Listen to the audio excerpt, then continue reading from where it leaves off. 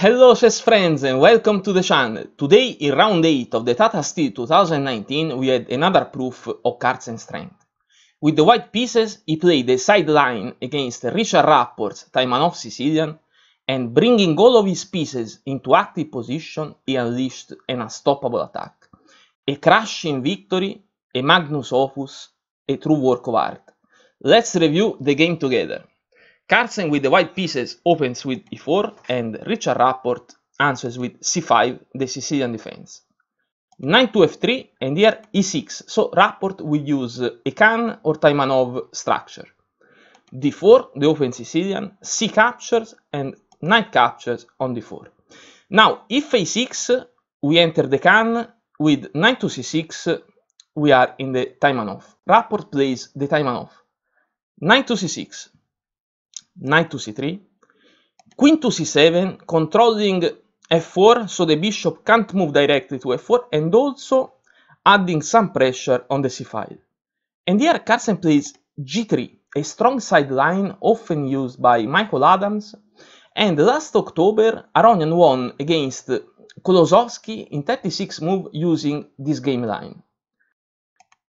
a6, the best answer, bishop to g2, knight to f6 and castle for white. Here it seems that uh, the best idea is to bring out the, the, dark square bishop from the pawn chain, but uh, Rapport uh, makes uh, a little inaccuracy in my opinion. He doesn't bring out the bishop and he plays d6 creating the small center. Carlsen captures on c6, knight captures on c6 and b captures on c6 knight to f4 with the only idea to be able to play c4 and creating a sort of uh, bind on um, d5 also because there is the bishop that had the third control rook to b8 and here c4 c5 b3 so the bishop is free to move. Bishop to e7 and Carlsen develops the dark square bishop in fianchetto. Bishop to b2. Castle for black, and now it seems time for f4. But Carlsen plays something different, something still quite good. Queen to e1, adding a second protection to the um, pawn. Also now the rook on a1 is able to come to d1 and uh, the queen is able to create the battery with the bishop just the only difference with the classic battery is that the queen will be in front of the bishop. Knight goes to d7, rook to d1, bishop to b7, and queen to c3, threatening mate in 1. There is no problem for black yet, because Rapport plays bishop to f6, here comes queen to d2, a second attack to the d6 pawn, bishop to e7 protecting the pawn and here Carlsen repeat the moves. Queen to c3 again threatening mate.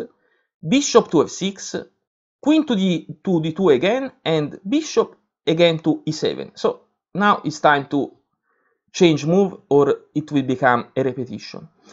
Finally f4 here comes e5 bishop to c3 bishop to c6 attacking the knight but here comes bishop to a5, hitting the queen, queen to b7. Now the queen and the bishop are attacking the pawn. The knight goes back to c3, improving the position of the knight and also defending the pawn. And here comes e captures on f4. Here is better to capture with the pawn, not with the queen. In fact, Carlsen recaptures with the pawn. G captures on f4 and rook in f goes to e8 indirectly adding another attacker on this pawn. The pawn advance, e5, here comes bishop captures on g2 and queen recaptures on g2. Possible to exchange queens, but of course white stands better. d captures on e5 and knight to d5, disconnecting the two queens and attacking the bishop. In this position, Richard Rapport plays e4, perfectly fine move. Let's go back uh, one move. But was it possible to capture on uh, f4? No, it was not. Let's watch together. If uh, he captures on f4, here comes rook in d goes to e1, two pieces are attacking the bishop, and unfortunately the bishop can't move. The best move is king to f8 adding the second defense to the bishop, but we will watch this line later. In this position, if the bishop move, uh, it's not important if uh, to f8 or to d6. Let's play bishop to d6. Here comes rook capture we check. The rook is forced to capture and the queen will become unprotected. Here comes knight to e7 we check and the king and the queen is lost. So after he captures and rook in d goes to e1, the best move we said is king to f8, but this is not enough uh, to keep the game balanced, because here comes bishop to c7, protected by the knight attacking the rook, and the quality is gone, because if the rook, if black moves the rook, for example to c8, here comes again rook capture on e7, also attacking the knight, the black rook mass captures, and here comes bishop to b6, attacking and pinning the rook. Okay, so not possible to play e captures, and Richard Rapport made a good decision to play e4.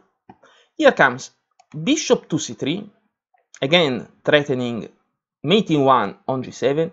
Is not possible here, let's pay attention to play again the bishop here on f6, because with the knight on d5, if bishop to f6, we will see bishop capture, knight captures, the knight will capture, we check, not only the second piece is gone and the pawn can't capture because it's pinned by the queen, but also the check is a fork and also the quality will be lost. So it's possible otherwise to um, to play bishop to f8, but uh, f6, like in the game, is more active. So king to h1, black plays king to h8, breaking the pin, rook to g1, again attacking g7, and bishop to f8, protecting the pawn. Knight to e3, with a clear idea to jump with the knight on f5 and to add another piece to the attack, and Richard Rapport plays queen to c6 because he wants to bring back as soon as possible the queen to defend the castle. Rook to d5, powerful rook lift because the rook is going to h5, another strong piece coming to the attack. Queen to e6, rook to h5 and queen to f7, the queen was able to go back and also is attacking the rook. Queen to h3, attacking h7, g6, attacking the rook and opening the queen defense to h7, but the rook simply goes back to h4. Rook to b6 with Rapport that tries to add also the other rook to the defense, but here comes f5. Knight to e5 ready to recapture back on g6. Knight to d5 with tempo hitting the rook and the rook moves to d6 but there is no time to defend the position because after f capture on g6, knight recapture on g6, and bishop capture we check, the rook must recapture, and after rook capture to h7 we check, also hitting the queen, Rapport resigns because the queen is overloaded.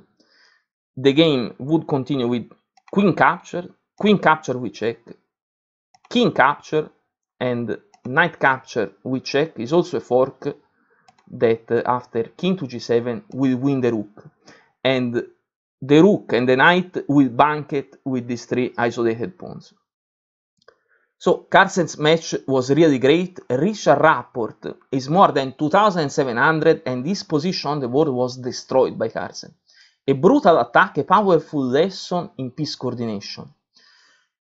Uh, Carlsen is now leading the tournament with Anand, who won against Mamedyarov. Also, other matches seems very interesting in this round. Fedoseev is winning against Shankland, and Duda winning against Kramnik. So I will try to post another match tomorrow morning. So don't forget to subscribe to the channel and to like this video. For now, thanks for watching and goodbye.